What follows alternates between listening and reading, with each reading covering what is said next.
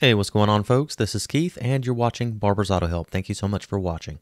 In today's episode, I'm going to show you how I replaced the serpentine belt and the AC belt on a Ford 3.5 liter EcoBoost. Now, to my knowledge, this 3.5 liter EcoBoost actually fits in a lot of your late model F 150s. I think around 2013 to present day, you can find these in the F 150, and then 2015 ish to present day, you can find these in the Expedition. Now, do note before we get into this, guys, there may be slight variations between the years and between the Expedition and the F 150, but for the most part, it's been my experience it's pretty well like this, with some minor variances. Now, first thing I'd suggest doing, of course, is to disconnect your negative battery cable and set it aside and isolate it from the battery. And of course, the engine should not be running during this repair. Now, as you probably already know, it's near impossible to do this job from the top side of the engine unless you remove a bunch of these components here. In my opinion, it's best to get this job done from the underside of the vehicle, preferably using a lift. Now, if you have to use just jacks and jack stands, it's going to be a little bit difficult to, for you to do this job on your back, but it is doable. And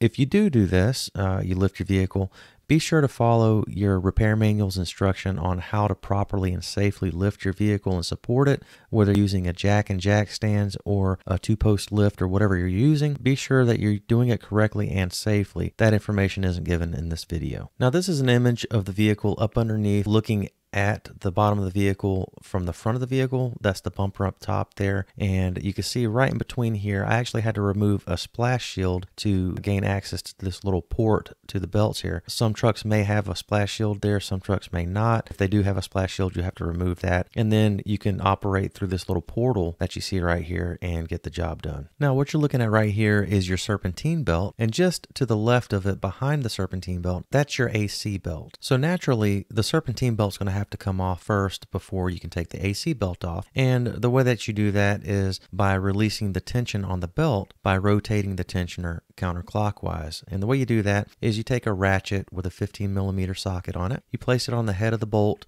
on the tensioner there, and you turn it counterclockwise. Now, once the tensioner stops rotating, don't keep forcing that nut for risk of loosening that nut or excuse me, the bolt. You don't want to loosen the bolt up. You just want to turn that tensioner counterclockwise just enough to remove the tension from the belt so that you can remove the belt. If you don't overdo it, you should be fine. Now, once the serpentine belt is removed, I like to take it a step further, and a lot of guys will disagree with me on this, but I like to remove the whole tensioner altogether.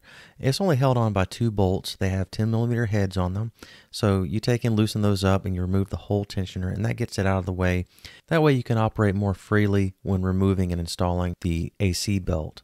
Now, once that's out of the way, we can turn our attention to the AC belt. In my opinion, the easiest and quickest way to do this is just to take a razor blade and just slice it right off. Now, a lot of people don't like to do that, or they may want to reuse this belt for whatever reason. Maybe they're doing an AC compressor or they're doing another job and they the belt is still good and they want to reuse it. That's all good. And what you can do in that situation is you can use a flat blade screwdriver and kind of walk the belt off the back edge of the crankshaft pulley. The way that I do it is I just take a, a flat blade screwdriver. I put it in between the belt and the pulley and I kind of pry it back towards the timing cover a little bit there. And then I put an 18 millimeter socket and ratchet on the crank bolt and then I rotate the crankshaft clockwise and just walk that belt right off. So you can do it that way also. Now once the AC belt's out of the way, you can then turn your attention to putting it back on. And the best way I found to do this is by using zip ties. Now you're going to go ahead and route the belt around the back side of the crankshaft pulley just like this right here. You're going to kind of leave it flat on the top of the crankshaft pulley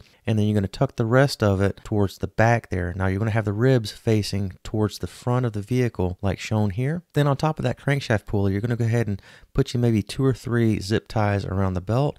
And you're going to make sure that that belt at the top there is flat with the pulley and in the grooves like it's supposed to be.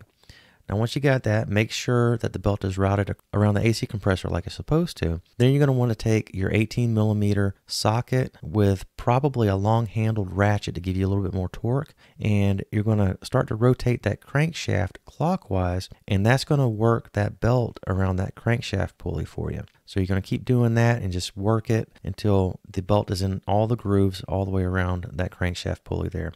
Now, while you're doing that, be sure that the belt does not slip off the AC compressor. It'll want to walk off that AC compressor. So from time to time, you're going to need to put your other hand up there around the AC compressor and kind of keep that belt in place. So once you got that done, go ahead and cut your zip ties off. Now you have your AC belt installed. Now, the reason that I took the uh, tensioner off for the serpentine belt, it kind of helps to get things out of the way to do that whole process with the AC belt there. The belt tends to kind of rub up against that tensioner a little bit, and maybe the zip ties will get caught up on that tensioner if it were still installed. So that's why I take that out of the way. It just makes it easier on me. It's got two bolts for crying out loud. It doesn't take much to remove it. Now, at this point here, we need to go ahead and put our tensioner back on. Uh, put your two bolts back in there, torque them down to specification. And no, I don't have that torque specification here You'll need to refer to your repair manual for that. And then once your serpentine belt tensioner is installed, you can then go ahead and route your new belt around your pulleys there. Now, what I like to do is I like to go ahead and route the belt around all of the pulleys except for the idler pulley, which is this pulley down here at the bottom. So I got it routed around all the pulleys and I got it left off of that one, so it's kind of dangling right there. Then what I do is I put my 15 millimeter socket and ratchet back on the tensioner bolt and then I turn it counterclockwise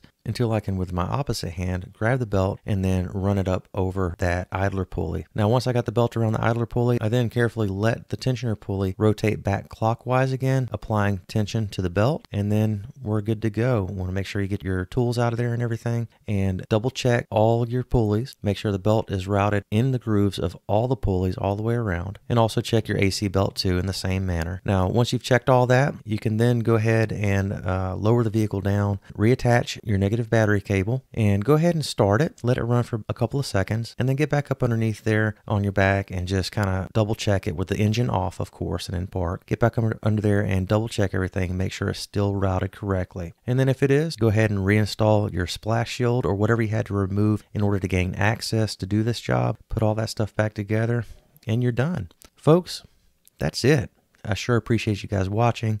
Um, as always, with all my videos, please read the entire description down below this video before you apply any of this knowledge. There may be some things I need to clarify. That's where I do that. Please read that, guys. And also, please read the disclaimer at the very end of it. Thank you again. Have a good one.